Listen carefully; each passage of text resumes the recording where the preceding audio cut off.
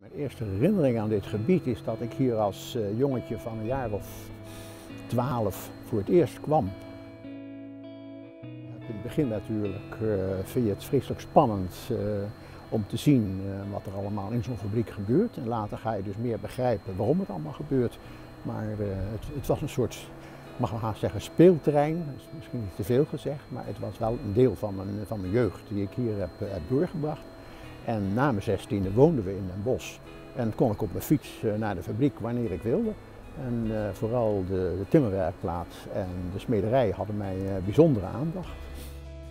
Nou ja, wat deed je als, als middelbare scholier om wat bij te verdienen? Ja, dan hadden ze wel een, een baantje voor je. En in zoverre heb ik, heb ik dus hier wel daadwerkelijk ook gewerkt. Maar ja, dat stelt natuurlijk niks voor ten opzichte van wat betreft wat je dan, dan produceert waarom ik hier kom is denk ik toch een stukje jeugdsentiment. Ik heb hier zoveel goede herinneringen liggen.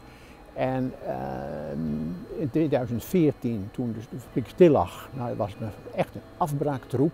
En ik dacht, dat wordt niks. En nu zie je gewoon in de loop van de jaren hoe dat zich ontwikkelt. En eigenlijk denk ik vaak, dat hadden mijn uh, vader en mijn ooms nog eens moeten zien. Dat wat er nu van geworden is, uh, dat hadden ze zich nooit kunnen voorstellen.